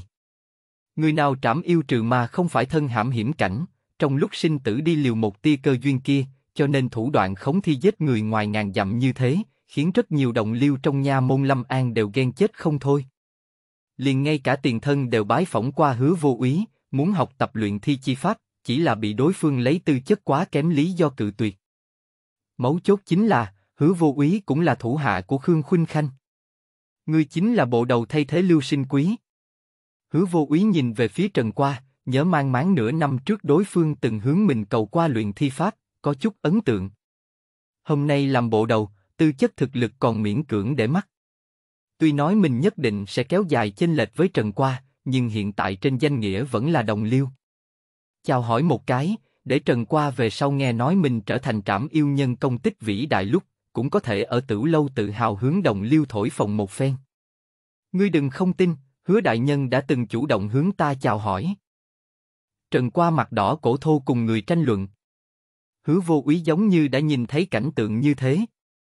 Anh không khỏi cười khẽ một tiếng, em là người thú vị. Trần qua. Hứa vô úy sinh ra khinh thường cậu, 99, 100.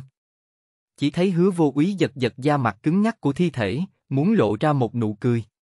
Nhưng cơ mặt co quắp vài cái, lại trực tiếp nửa khuôn mặt đều nứt ra, chảy ra máu tươi dính đỏ đen, bên trong mơ hồ còn có mấy con giòi bọ màu vàng tươi mập mạp. Trần qua là nghe nói hứa vô úy người này quanh năm bế quan luyện thi, luyện đến tâm lý có chút biến thái, vì thế lười phản ứng hắn, mang theo thất nguyệt xoay người lên lầu, chuẩn bị lấy điểm cống hiến đổi lấy công pháp.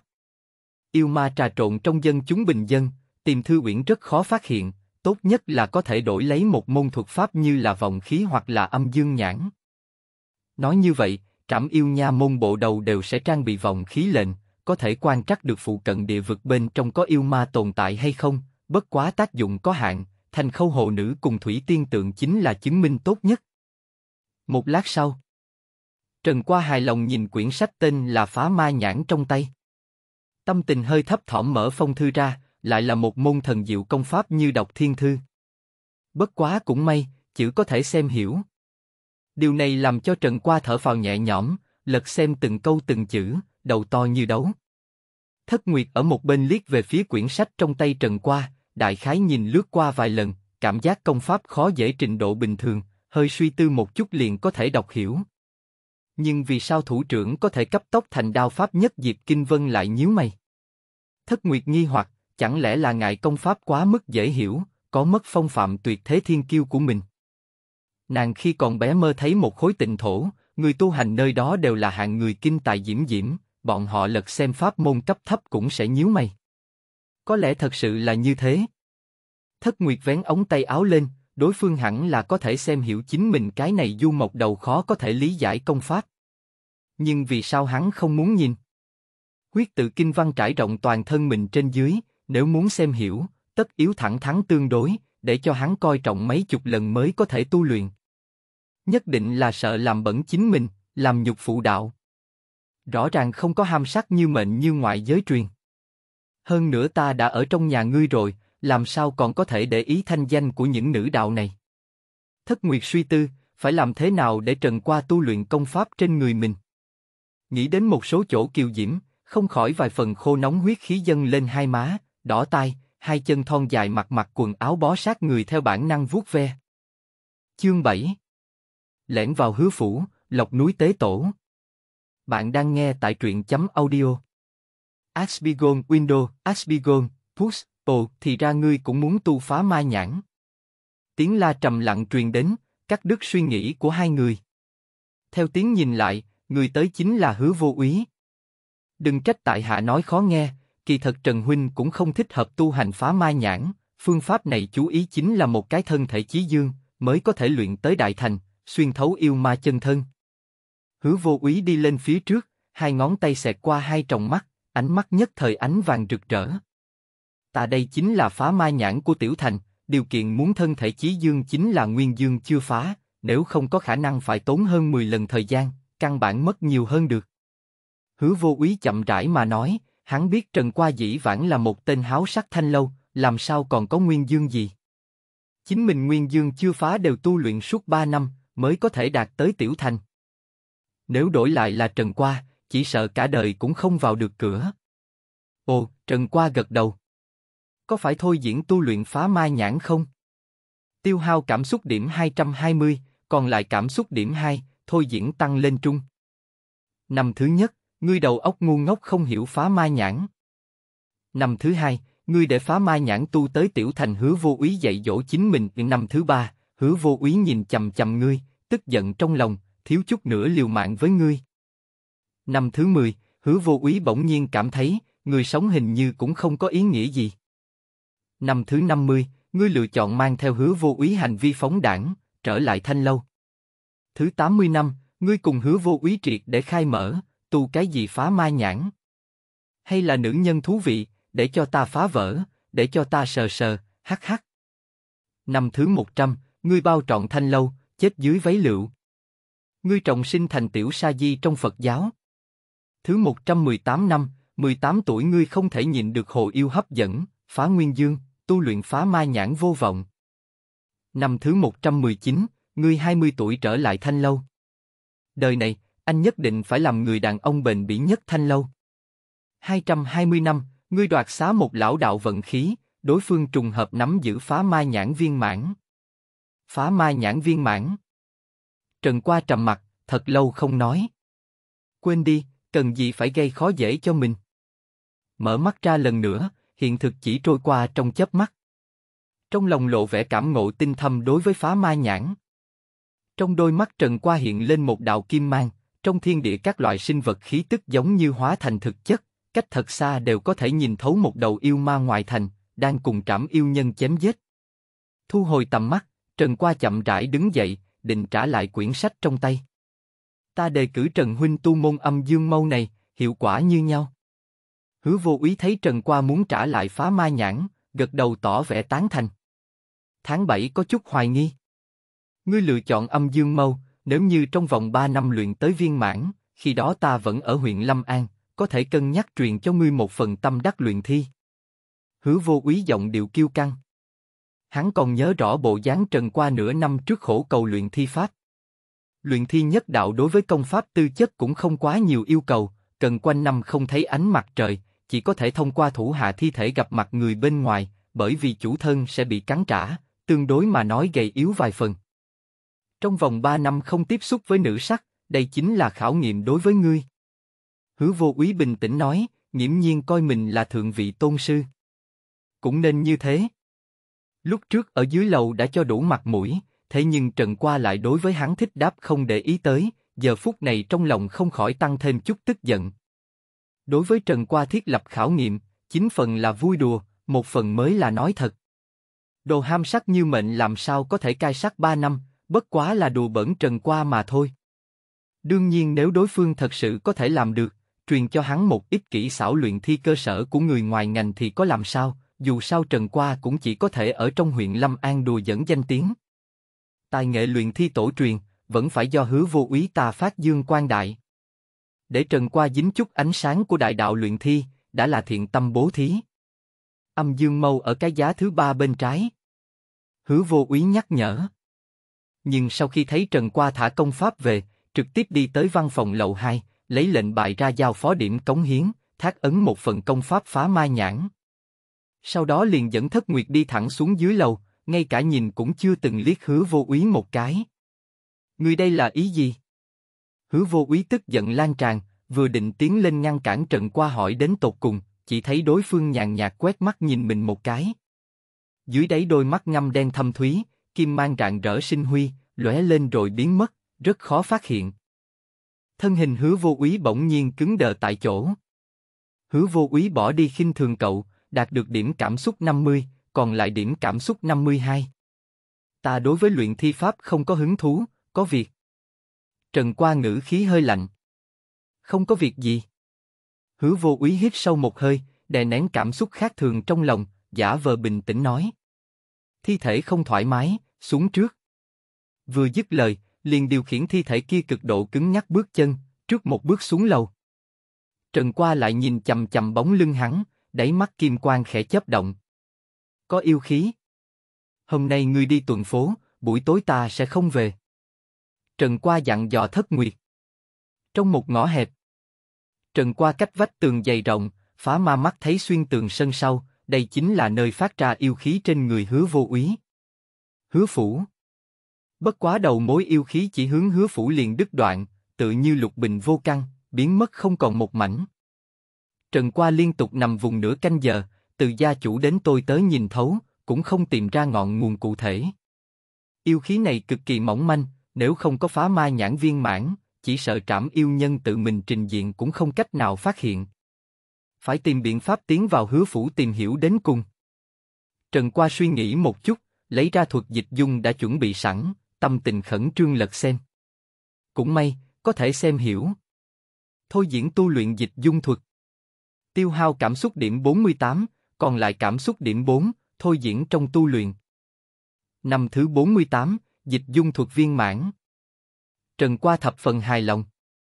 Chờ đợi một lát, chỉ thấy trong hứa phủ đi ra một gã đầu bếp, đang xách theo một trương thịt heo nát đi ra ngoài, ven đường ruồi bay thành đàn, mùi hôi thối xông vào mũi.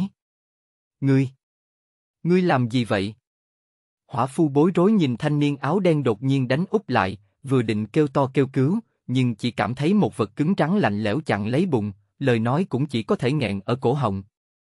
Tìm thư uyển vđvđvđ chấm giao su sinh chấm com trần qua đưa đầu bếp về ngõ hẹp.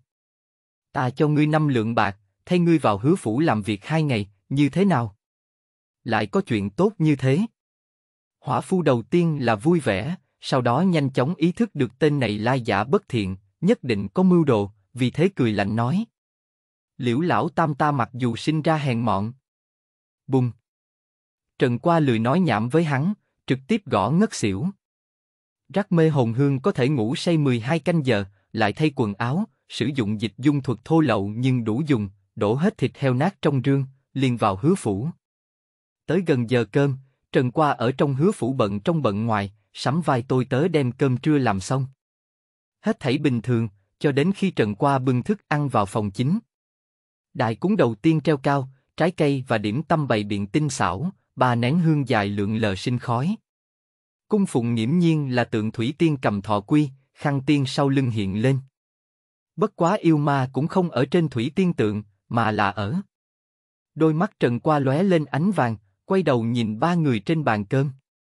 Hứa vô úy chân thân hành thiện, cùng với cha mẹ tươi cười rạng rỡ của hắn. Không sợ, ngày mai chính là ngày dỗ của tam thúc công con. Hứa mẫu cắn một miếng thịt heo, thủy chung nhai nuốt, chưa từng xuống bụng. Tam thúc công khi còn sống đối xử với ngươi không tệ, tâm đắc khống thi nhất đạo cũng đều truyền thụ cho ngươi, ngoại trừ quan hệ huyết thống, các ngươi còn có danh phận thầy trò, tuyệt đối không thể đánh mất lễ nghi, điều khiển hành thi đi trước. Hứa phụ gật đầu, thu thập chân thân con một chút, trong phủ sớm đã chuẩn bị xe ngựa, sáng sớm ngày mai chúng ta liền đi tới Lộc Sơn phụ cận tế bái. Hứa vô úy có chút do dự, nhưng không lay chuyển được ánh mắt nghiêm khắc của cha mẹ, cũng chỉ đành đáp ứng. Nghĩ đến hẳn là sẽ không xảy ra chuyện, không cần phải lo lắng đề phòng như thế. Chương 8 Ký sổ công pháp, khí huyết hậu kỳ Bạn đang nghe tại truyện chấm audio. Aspigon Windows, Aspigon, Push, phòng bếp hứa phủ. Hỏa phu trưởng thân hình gầy gò, nhìn thịt đầu heo đẩy đà trong bát, cũng chỉ đơn giản cắn hai miếng, liền che giấu nôn ra. Hắn cảm giác có chút kỳ quái. Vì sao liễu lão tam đi ra ngoài đổ thịt heo nát, dáng người cao hơn một chút? Nhớ lầm rồi, có lẽ liễu lão tam vốn là dáng người này. Dù sao cũng không thể là lộ tẩy đi. Nghĩ đến đêm qua trảm yêu nhân tịch thu nhà lưu sinh quý, đầu bếp trưởng không khỏi âm thầm toát mồ hôi. Sắc mặt hắn có chút trắng bệch, bất quá rất nhanh liền khôi phục trấn định, hai ba cái đem cơm trong bát bới xong, đi tới phòng chính nhìn lướt qua, nhất thời nội tâm đại định. Bên kia, Trần Qua nhìn thân ảnh đầu bếp trưởng, nheo mắt lại. Người này là một người tu hành khí huyết viên mãn. Tại khí huyết cảnh, cao dài cũng không thể nhìn thấu thấp giai tu vi cùng tướng mạo, nói cho cùng cũng chỉ là cái sử dụng đao kiếm thô bỉ võ phu, nào có nhiều như vậy thần dị chi năng. Trần Qua cũng là ý vào phá ma nhãn đi xem huyết khí người, mới có thể suy đoán đại khái cảnh giới. Khí huyết viên mãn của huyện Lâm An chỉ có nha môn bộ đầu, đây là Phong Học Vân. Phong Học Vân người này đều là bộ đầu, làm việc dưới tay trảm yêu nhân Phong Học Nghĩa, hai người là huynh đệ ruột, đều là con nối trực hệ của trảm yêu giáo úy. Có thể nói thân thế giống hệt Khương Khuynh Khanh, bởi vậy Phong Học Nghĩa thường âm thầm so sánh với Khương Khuynh Khanh, người sau lại không hiểu lục đục với nhau, cho nên mạch Khương Khuynh Khanh thường xuyên bị mạch Phong Học Nghĩa ức hiếp. Vị Phong Học Vân này càng là quan trọng trong đó. ỷ vào quan hệ huynh trưởng cùng bậc cha chú đoạt công, vung nồi, quả thực dùng bất cứ thủ đoạn tồi tệ nào, cùng hoàng khố đệ tử trong tiểu thuyết kiếp trước độc nhất vô nhị. Vậy thì không cần phải nhường. Sắc trời dần tối. Một đám đầu bếp bận rộn xong cơm tối, liền vào đại thông phô nghỉ ngơi. Trần qua mượn danh nghĩa nhà vệ sinh nhảy ra khỏi hứa phủ, đi tới nha môn trảm yêu, đi thẳng tới văn phòng. Hứa phủ bên trong hai đầu yêu ma đều là vận khí cảnh sơ kỳ, chính mình giết là có thể giết, nhưng là còn làm không đến thuấn sát trình độ. Bên cạnh có một phong học vân chờ đợi, liều mạng chính là tốc độ trảm yêu, đoạt công lao cùng với điểm cảm xúc. Bởi vậy Trần Qua muốn đem cảnh giới tăng lên tới khí huyết hậu kỳ, mới có thể thuấn sát yêu ma. Lão Đinh, cho ta một môn công pháp có thể tăng lên tới khí huyết hậu kỳ. Trần Qua mặt dày. Ký sổ. Đinh lão đầu giận quá hóa cười, ngươi lấy cái gì ký sổ, với tư chất của ngươi, lấy công pháp nhanh chóng tăng lên khí huyết hậu kỳ là không cần thiết, tự mình từ từ mài lên là được. Lời vừa ra khỏi miệng, Đinh lão đầu liền ý thức được không đúng, Trần Qua đã sớm không giống ngày xưa, liên tiếp chém giết hai đầu yêu ma, hiện giờ thanh danh ở trong nha môn trảm yêu lên cao, quả thật không nên lấy lễ nghĩa dĩ vãng đối đãi với hắn. Nhưng vẫn có chút không tình không muốn nói. Ngươi chuẩn bị lấy cái gì trả? Hai con yêu ma may mắn sơ cảnh, ngày mai sẽ trả lại. Trần Qua nói. Cái quái gì vậy? Đinh lão đầu hoài nghi lỗ tai mình bị điếc, bệnh nhân Alzheimer, nếu không làm sao có thể nghe được lời nói hoang đường như thế. Ngoại trừ trảm yêu nhân, vì khí huyết gia nào trong nha môn không phải giết một con yêu ma vận khí liền đem hết toàn lực, vả lại mỗi lần xong đều phải nghỉ ngơi hơn nửa ngày, bằng không thân thể cốt cũng sẽ trả rời. Vượt giai mà chiến cũng chú ý trình độ, qua biên giới chém liền hai đầu vận khí yêu ma chuyện này, chỗ khác không rõ ràng lắm. Dù sao đinh lão đầu hắn ở nha môn huyện Lâm An hơn 40 năm, còn chưa từng thấy qua có thể có năng lực như vậy. Người trẻ tuổi chính là thích mạnh miệng. Đinh lão đầu nhớ lại những năm tháng huy hoàng trước kia, làm như thấy được bóng dáng của mình trên người Trần Qua. Năm đó hắn cũng hăng hái như vậy, dõng dạc. Chợt xoay người, từ trong giá sách lấy ra một quyển sách, ném cho Trần Qua. Ngày mai mang theo thi thể yêu ma vận khí, trả lại là được. Đinh lão đầu lười biếng nói. Đa tạ. Trần Qua đạt được mục đích, xoay người rời đi. Về nhà đi. Thất Nguyệt núp ở trên ổ chó, chỉ mặc một bộ áo lót mỏng manh, chữ máu dưới da thịt trắng như tuyết mơ hồ hiện lên. Nhận thấy có người vào cửa, liền phút chốc mở to mắt. Về rồi, có bữa ăn khuya không? Thất Nguyệt mang theo vài phần chờ mong, chăn che thân thể mềm mại rơi xuống, làm như trong lúc vô tình lộ ra mảng lớn da thịt trắng như tuyết. Không có. Trần Qua không để ý nhiều, trực tiếp đã tọa lật xem công pháp thăng cấp trong tay. Nhíu mày trầm ngâm, lại có thể xem hiểu. Còn tức giận huyết thăng giai công pháp viết được đơn giản, là sở hữu người tu hành nền tảng, nếu ngay cả cái này đều tìm hiểu không thấu, tiền thân cũng không có khả năng tu luyện tới khí huyết trung kỳ. Thất Nguyệt thấy hắn đã tọa tu luyện, hơi lộ vẻ cô đơn, chân ngọc trắng nõn cuộn chăn làm cho mình co thành một đoàn, chỉ lộ ra một cái đầu nhỏ, tùy ý thanh ti hỗn độn buông xuống, cứ như vậy nhìn thẳng vào Trần Qua. Sợ làm bẩn ta như vậy sao? Sau khi chứng kiến Trần Qua cấp tốc thành công pháp ban ngày, Thất Nguyệt liền kiên định suy nghĩ trong lòng. Hắn tuyệt đối có thể xem hiểu, chỉ là sợ có phong phạm nhục nhã, Thất Nguyệt nghiêm túc gật đầu. Chờ một chút, hắn lại nhíu mày. Trần Qua đương nhiên nhíu mày, khí huyết thăng giai pháp này mới đầu còn có thể xem hiểu, nhưng càng nhìn phía sau lại càng phức tạp khó hiểu. Người bình thường nhìn một khắc đồng hồ liền có thể tâm có cảm giác, trực tiếp bắt đầu tu luyện. Chính mình cũng trọn vẹn một canh giờ mới có chút cảm giác sờ đến môn đạo, lại tốn nửa canh giờ mới chính thức tu luyện. Trần qua lòng nóng như lửa đốt, cũng may sau khi hiểu ra tốc độ tu luyện liền nhanh chóng, trước hừng đông đã thành công đột phá đến khí huyết hậu kỳ. Chạy như bay về hứa phủ, đầu bếp trong đại thông phô đã tỉnh hơn phân nửa, nhìn thấy liễu lão tam trở về cũng không kinh ngạc, chỉ là kêu gọi mau đến hỗ trợ. Qua một canh giờ nữa, đoàn người hứa gia sẽ ra khỏi thành tế bái, giờ phút này đang bắt tay chuẩn bị công việc tế bái. Hứa vô úy chân thân đi ra, người này mặc vân bào, đầu đội ngọc quan, trước trán có hai sợi tóc rủ xuống, chỉ là tướng mạo bình thường, trang phục tinh xảo cũng chỉ là so với người bình thường dễ thấy hơn một chút. Hắn nhìn lướt qua đầu bếp trưởng bận rộn, tìm Thư Uyển cảm thấy người này có chút xa lạ. Hứa vô úy vừa định dùng tiểu thành phá ma nhãn nhìn xem, nhưng ý thức được hai tròng mắt sẽ ánh vàng rực rỡ, cực kỳ nổi bật như nhược trí sau, liền bỏ đi ý niệm này. Lần đầu chân thân xuất môn, mình ngược lại có chút cẩn thận dè dặt. Hứa vô úy bật cười, không biết tại sao nhớ tới tinh quang nổi lên trong mắt Trần qua hôm qua, nụ cười lại đột nhiên cứng đờ. Kim quang nội liễm, đó là đại thành hoặc là viên mãn mới có thể đạt tới cảnh giới, nếu không cẩn thận quan sát căn bản không cách nào phát hiện, đây mới là danh phù kỳ thực phá ma nhãn. Chính mình cái này gọi là nhược trí nhãn. Quả thực người so với người tức chết người. Từ sau khi tiếp xúc luyện thi, đây là lần đầu tiên ở huyện Lâm An bị đồng bối áp một đầu. Không sao, ta chém giết vận khí sơ cảnh yêu ma chỉ cần nửa canh giờ, sau đó thi thể càng là ba canh giờ liền có thể khôi phục thực lực, tổng thể thực lực vẫn là hơn Trần Qua. Hứa vô úy thầm nghĩ, trong lòng liền có thêm vài phần lo lắng. Hắn hôm trước xa xa nhìn qua thân ảnh Trần Qua mang theo thi thể yêu ma trở về, nhìn bộ dáng thê thảm cả người đẫm máu kia, nghĩ đến là mài mấy canh giờ, dốc hết toàn lực mới chém giết. Hứa vô úy sinh ra khinh thường đối với ngươi, 20, 100. Lại tới nữa. Trần Qua nhìn hứa vô úy hăng hái, có chút buồn bực, đối với mạch não của tên này cảm thấy khó có thể lý giải. Thôi, có thể lặp đi lặp lại một chút cảm xúc cũng tốt. Một canh giờ sau, Hứa Gia mang theo đội ngũ trùng trùng điệp điệp ra khỏi huyện Lâm An. Chuyến tế bái này cũng không phải chỉ có Tam Thúc Công ở Lộc Sơn địa giới, còn có một ít tiền bối lớn nhỏ khác, phải tốn không ít công phu, bởi vậy dẫn theo không ít đầu bếp ra ngoài. Phong Học Vân và Trần Qua đương nhiên là một trong số đó. Hai người đi theo đội ngũ phía sau, nhìn phía trước hứa gia cha mẹ ngồi xe ngựa, đều có suy nghĩ riêng.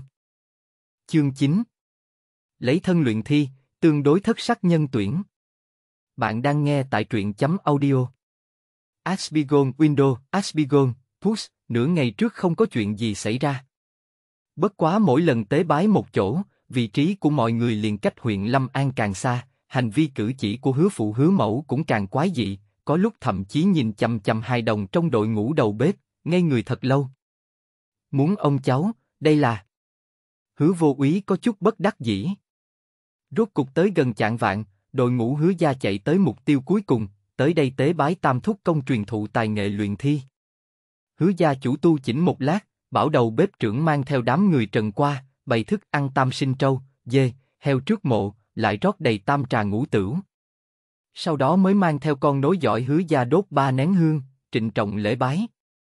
Hứa gia ta hôm nay có thể có quy mô như thế, hoàn toàn dựa vào tam thúc công truyền thụ tài nghệ luyện thi cho ta, ân đức như thế không thể báo đáp, đáng tiếc tam thúc công đã sớm qua đời trước, không thể báo đáp ơn thụ nghiệp, chỉ đợi kiếp sau, tất để tam thúc công ngài hưởng thụ niềm vui gia đình.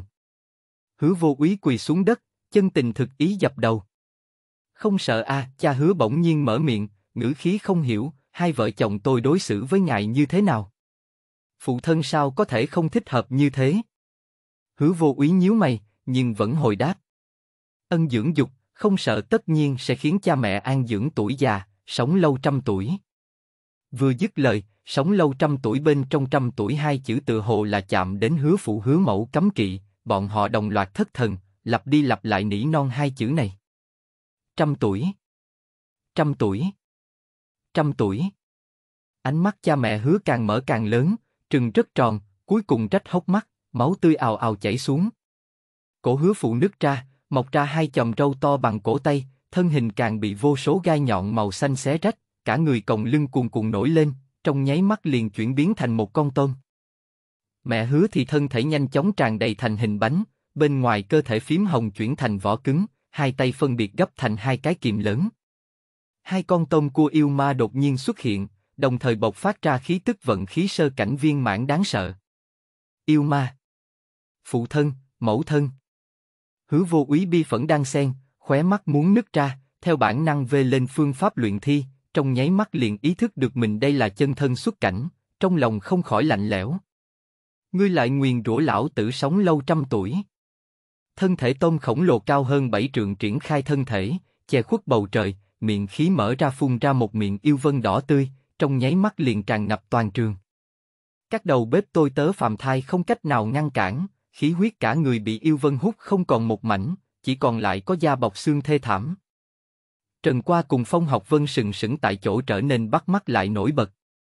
Trảm yêu. Trần Qua trở tay rút đao nhanh chóng chạy đi, huyết khí cả người băng vọt lên, giống như mảnh hổ giả thú tìm được mục tiêu săn bắn, lấy thế xét đánh đánh ra. Lại còn có một người. Sắc mặt Phong Học Vân trở nên âm u, rút trường kiếm bên hông ra, làm bộ cũng muốn lao ra. Đều cút ngay cho lão tử.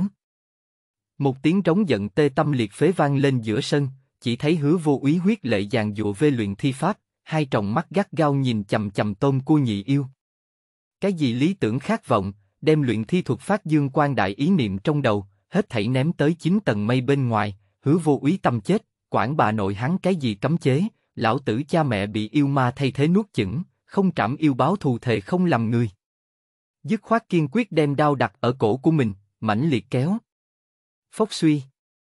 Cột máu đỏ sẫm phun ra, cả người hứa vô úy phủ kín huyết sắc, khí tức trong nháy mắt đoạn tuyệt, bất quá sinh mệnh cũng không bởi vậy mà tiêu vong, mà là thất khiếu toát ra khói đen, móng tay hai tay biến tím biến thành đen, trở nên nhọn dài. Hứa vô úy lại đem chính mình luyện thành thi thể sống. Mẹ nó, tiểu tử này điên rồi sao? Phong học vân lông mày giật mạnh, đành phải chửi vài tiếng rồi dừng bước. Trần Qua cũng dừng lại, nhìn chầm chầm hứa vô úy sử dụng thuật luyện thi với bản thân, chỉ thấy khí tức đối phương trong nháy mắt tăng vọt tới khí huyết viên mãn, đột phá tới vận khí sơ cảnh không hề ràng buộc, quay đầu liền cùng tôm cua nhị yêu chiến tới một chỗ, điên cuồng như ma. Hứa vô úy trong mắt còn có vài phần thanh minh, nhưng tuyệt đại đa số đều bị điên cuồng huyết khí chiếm cứ, giống như nổi điên vận quyền mảnh chu y yêu thân thể, móng tay nhọn dài đâm vào tôm yêu trong thân thể, không chút kiên kỵ điên cuồng hấp thu yêu ma huyết dịch. Hút đến làn da đỏ sẫm phát tím, hoàn toàn không có hình người. To gan. Giải yêu giận tím mặt, cái kìm khổng lồ vung thật nhanh, gắt gao kìm chặt cánh tay hứa vô úy, phát lực chấn động liền khiến cho nó gãy liền nghiền nát. Như thế còn chưa dừng lại, cô yêu dựa vào vỏ ngoài cứng rắn dày đặc chống đỡ thế công, nắm lấy cơ hội lại đem một cánh tay khác của hứa vô úy kìm tới nghiền nát. Hứa vô úy mất đi hai tay lập tức rơi vào thế hạ phong, bất quá vẫn vận dụng thi thể như điên, tiến hành va chạm đá, cuối cùng liệu đến thi thể vỡ nát, hấp hối. Một người chiến hai đại vận khí sơ cảnh viên mãn yêu ma. Cho dù luyện thành thi thể sống, cũng không thể tự tay trảm yêu báo thù sao. Hứa vô úy bi thương trong lòng, khóe mắt huyết lệ thủy chung chưa từng dừng lại, trơ mắt nhìn hai chân mình bị tôm cua nhị yêu kìm vỡ nát, thành lợn người, rốt cuộc không thể nhúc nhích. Vì thế, cả bàn đều thua. Hứa vô úy tuyệt vọng nhắm hai mắt lại, lặng lặng chờ đợi tử vong phủ xuống. Tôm cua nhị yêu đem ánh mắt chuyển hướng Trần Qua cùng Phong Học Vân, thân thể trẻ tuổi như thế làm bọn họ miệng lưỡi chảy nước miếng, trong mắt hung quan thịnh. Phong Học Vân cả người chấn động, tự như trong lòng bồn chồn, lui về phía sau vài bước. Vận khí sơ cảnh viên mãn của yêu đối với ngươi sinh ra thèm ăn, một trăm, một trăm. Vận khí sơ cảnh viên mãn tông yêu đối với ngươi sinh ra thèm ăn, một trăm, một trăm. Trước mắt hiện ra hai hàng phụ đề, Trần Qua cảm thấy mỹ mãn. Ken. Một thanh trường đao giống như tia chớp bắn ra, ven đường nhấc lên kình phong mãnh liệt, âm thanh chói tai bén nhọn vang lên.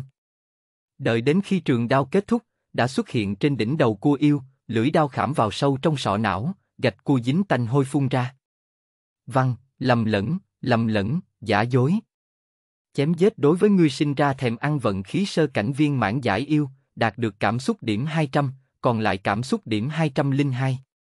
Cái này hứa vô úy chu yên ngạn quyền vạn quyền cũng chưa từng phá vỡ cô yêu cứng xác, tìm thư uyển vđvđvđ chấm giao su chấm com lại bị cái này một đánh vỡ ra, trực tiếp chém giết. Một màn như thế rơi vào trong mắt mọi người ở hiện trường, cho dù hứa vô úy tuyệt vọng tới cực điểm, gần như điên cuồng cũng ngây người một lát, có chút không kịp phản ứng. Cao Đại Hà yêu che mây che trời tâm thần chấn động, ngay cả một mảnh khắc cũng không có vị giải yêu cảm thấy bi thương, trước sông lên trong lòng chính là sợ hãi gan gan đều run. Ngươi! Vì sao vừa rồi không ra tay? Hứa vô úy dốc hết toàn lực ngẩng đầu, nhìn về phía Trần Qua, đôi mắt tái nhợt đầy tơ máu. Trần Qua lấy lại trường đao từ đỉnh đầu cua yêu, bước chân chưa mở ra nửa phần, trong mắt phản chiếu bóng lưng tôm yêu chạy trối chết, nhẹ giọng nói. Không phải ngươi bảo ta cút đi. Nghe vậy, đầu hứa vô úy vô lực trụ xuống, nhắm hai mắt lại, vẻ mặt có chút phức tạp. Làm như tiêu tan, lại giống như là bất đắc dĩ, cuối cùng hóa thành khóe miệng tươi cười, dùng thanh âm chỉ có mình có thể nghe được nỉ non nói. Hạng người kinh tài diễm lệ biết bao. Ta hẳn là may mắn cùng hắn làm đồng liêu mới đúng. Nhà môn trảm yêu nửa canh giờ trước. Khương Khuynh Khanh đề bút viết xuống công việc trảm yêu gần đây. Khi viết đến sự tích trần qua chém yêu ở Lưu Phủ, trong đôi mắt đẹp lành lành lộ ra một chút thưởng thức. Ít ỏi mấy nét bút mang qua. Lại viết đến hứa vô úy vào rạng sáng hôm qua, vượt cấp chém giết vận khí sơ cảnh yêu ma. Trong con ngươi Khương Khuynh Khanh thưởng thức càng sâu, dễ dàng cho thêm chút bút mực.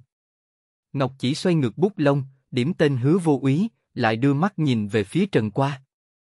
Mặc dù biết rõ hai người không cùng một cấp độ, nhưng trong lòng vẫn nhịn không được đem hai người so sánh.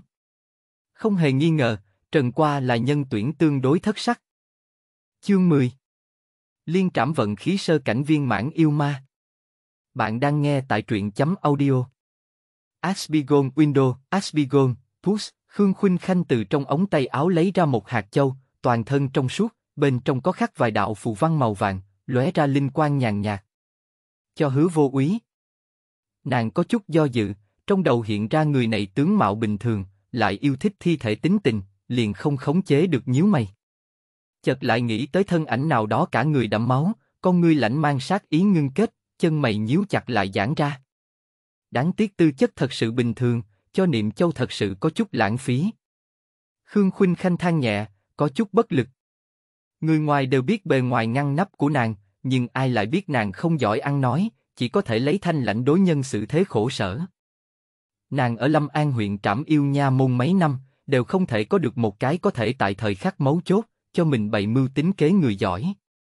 Trong vòng một tháng phải xác định người được chọn, xem Trần Qua có thể đột phá theo tuyến lưu sinh quý hay không, không quá hạn hy vọng không lớn, Thủy Tiên giống như sự tình liên quan đến thế cục huyện Lâm An, sao một bộ đầu nho nhỏ có thể can thiệp được? Khương Khuynh Khanh lại nhíu mày, thủ hạ của mình ngoại trừ hứa vô úy ra thật sự thiếu người xuất sắc, cân nhắc xem có nên hạ thấp yêu cầu mong muốn của Trần Qua hay không. Chợt, thần sắc Khương Khuynh Khanh trở nên ngưng trọng, từ trong ngực lấy ra lệnh bài trảm yêu nóng bỏng, đôi mắt đẹp nhắm lại ngưng thần một lát, liền bỗng nhiên đứng dậy. Sát ý vô tận tỏa ra trên người, Khương Khuynh Khanh thân hóa cực ảnh, trong nháy mắt dễ dàng biến mất vô tung trong phòng, ngay cả một bàn sách vỡ bút mực cũng bị đánh đổ, bị kình phong mãnh liệt cuốn lên, rơi lả tả đầy đất. Hai đầu vận khí sơ cảnh viên mãn yêu ma, chẳng lẽ vô tướng quỷ vào huyện Lâm An?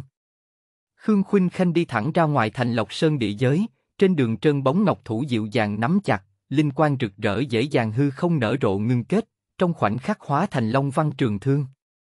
Nàng cảm giác được mệnh bài của hứa vô úy đã vỡ vụn, trong nháy mắt liền ý thức được tính mạng đối phương nguy trong sớm tối. Nếu là đi chậm, chỉ sợ sẽ mất mạng tại chỗ. Người này liên quan đến kế hoạch phong yêu của phụ thân, vẫn chưa thể chết. Băng hàng trên người Khương Khuynh Khanh gần như ngưng thành thực chất, chợt lại nhận ra một cổ uy thế không hề kém mình, đồng dạng hướng Lộc Sơn địa giới bay vọt mà đi. Phong học nghĩa. Khương Khuynh Khanh nhận ra người này, không khỏi hừ lạnh một tiếng, so với sự cấp bách của nàng, vẻ mặt đối phương tương đối bình tĩnh, thậm chí vân đạm phong khinh. Phong học nghĩa liếc mắt nhìn Khương Khuynh Khanh, khóe miệng cong lên. Hắn cũng có thể cảm ứng được tính mạng của hứa vô úy đang lâm nguy, đệ đệ phong học vân của mình thì hoàn hảo không tổn hao gì. Đệ đệ mấy ngày gần đây làm việc có chút quá đáng, phải làm cho hắn thu liễm một hai mới được, nếu không sự việc bại lộ. Phong học nghĩa yên lặng nắm chặt trường đao trong tay. Hai vị trảm yêu nhân đồng loạt lao tới địa giới phụ cận Lộc Sơn. Khương Khuynh Khanh vận sức chờ phát động, trên người không ngừng phát ra linh khí mờ mịt, dĩ nhiên chuẩn bị tốt chạy tới hiện trường trước tiên, liền ra tay trảm yêu, bảo vệ tính mạng của hứa vô úy. Về phần Trần Qua, thuận tay có thể cứu thì cứu. Bất quá mệnh bài của Trần Qua vì sao không có xu thế vỡ vụn. Khương Khuynh Khanh đối với bộ pháp trác tuyệt thanh danh của Trần Qua có nghe thấy, vì thế không cách nào khống chế nghĩ đến đối phương chỉ sợ là trước tiên nhìn thấy yêu ma, liền chạy trối chết. Lúc này mới phù hợp với logic hành vi của đối phương, khí huyết trung kỳ đối đầu với hai yêu ma vận khí sơ cảnh viên mãn, nếu còn mang theo nhiệt huyết đi trảm yêu, mới là chuyện ngu xuẩn đến cực điểm. Tuy nói như vậy, nhưng ấn tượng trong lòng Khương Khuynh Khanh đối với Trần Qua vẫn không thể khống chế giảm vài phần. Hả? Yêu ma này dám đơn thương độc mã giết tới.